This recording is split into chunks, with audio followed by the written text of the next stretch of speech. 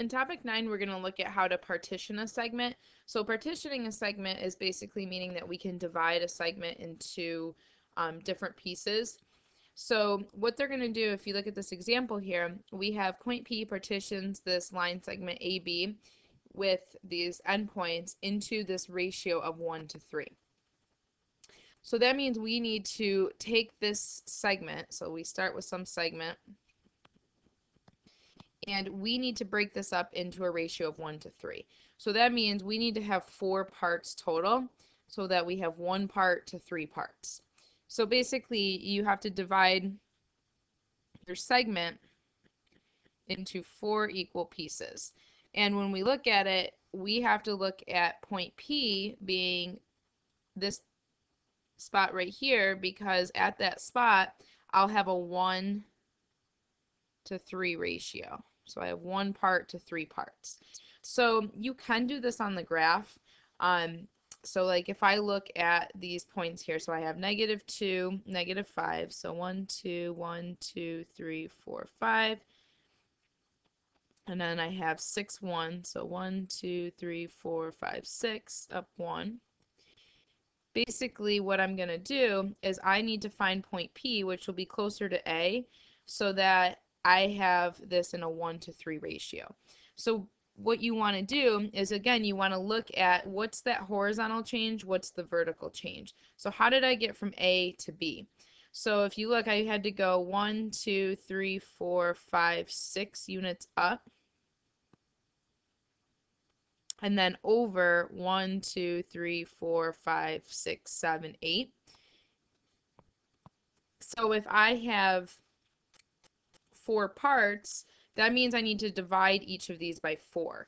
So instead of moving up six over eight, or instead of finding the midpoint, which we did in the last video, up three over four, half of these, I have to go divide these by four because I have four parts. So basically what I'm going to do is I'm going to move up. So instead of up six, I'm going to divide six by four, which will give me up 1.5. And then instead of right 8,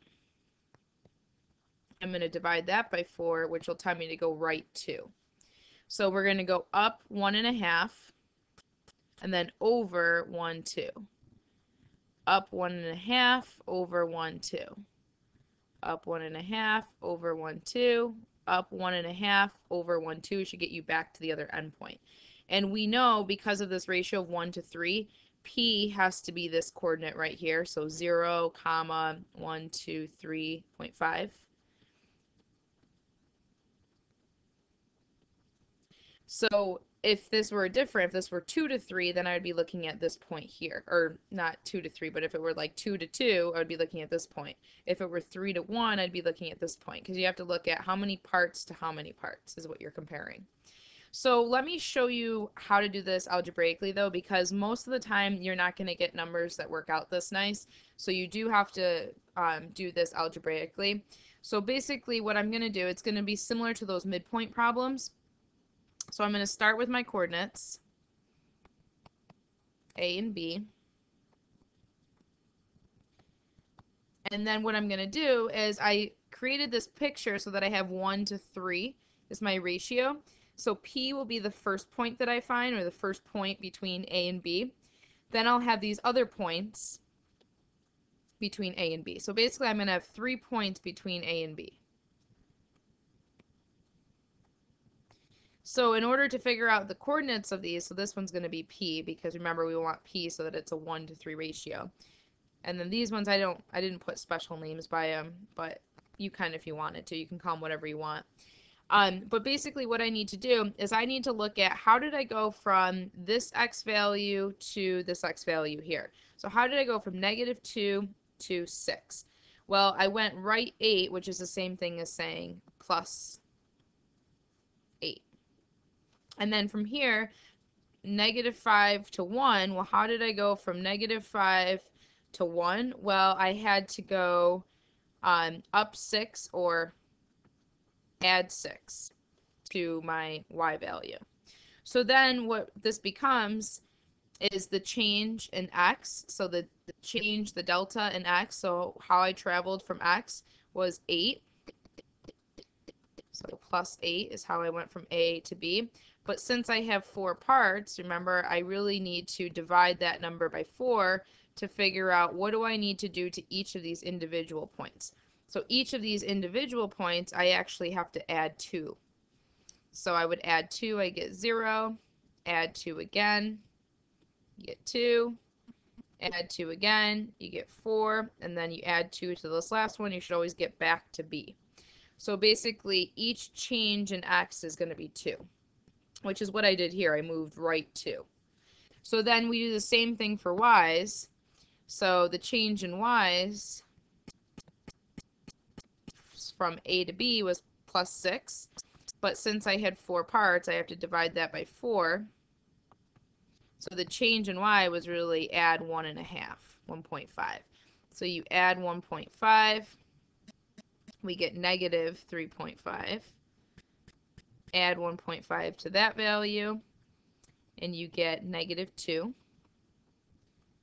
Add 1.5 again, we get negative 0.5. Add 1.5 again, and you get back to 1.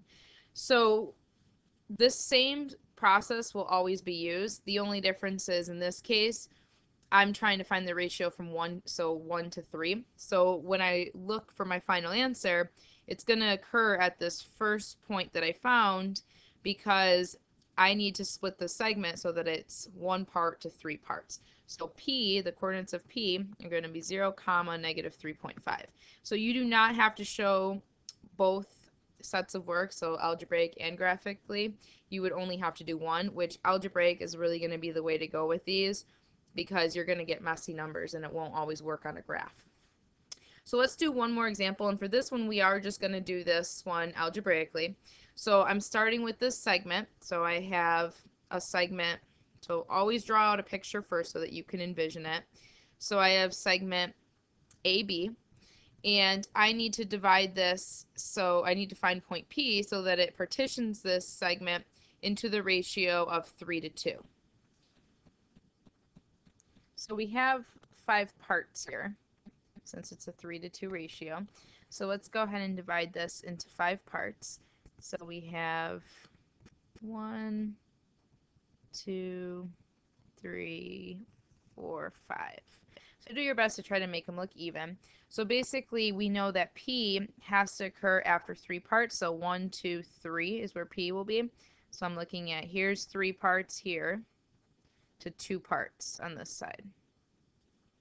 So that means when I go to find these coordinates, I'm going to find the first point, the second point, and the third point will actually be my P, and then the fourth point um, will also be in there. So I'm going to start by writing my coordinates. So I have 3, 4, and then give yourself enough space to include those coordinates between. So B is going to be 6, 10. And then again, set this up so we have four points that have to go in between here so that we have five parts. So we're going to have one, two, three, four between these. And the important coordinate is going to be our number three coordinate here. That's going to be point P.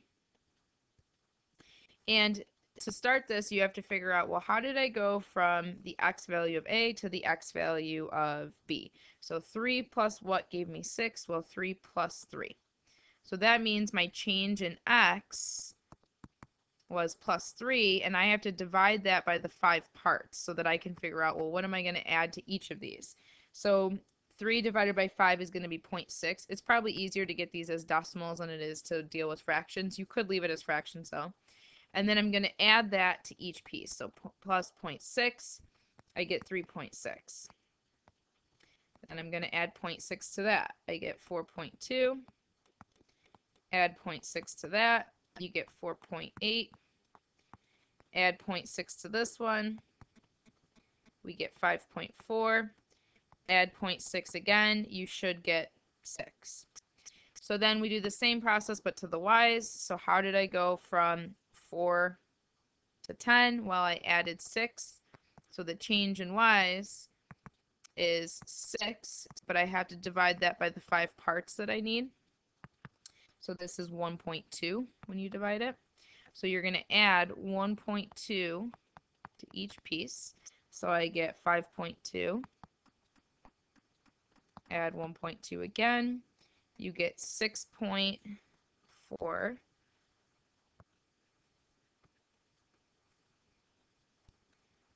So 6.4. Add 1.2 again. We get 7.6. Add 1.2 again. You get 8.8. Add it again. You should get 10. So then your answer is where P occurs. So P is 4.8 comma 7.6. And this would be one that would be really hard to do on a graph because you'd be counting um, right 0.6 and up 1.2, which would just be a pain. So that's why you definitely have to know how to do this one algebraically.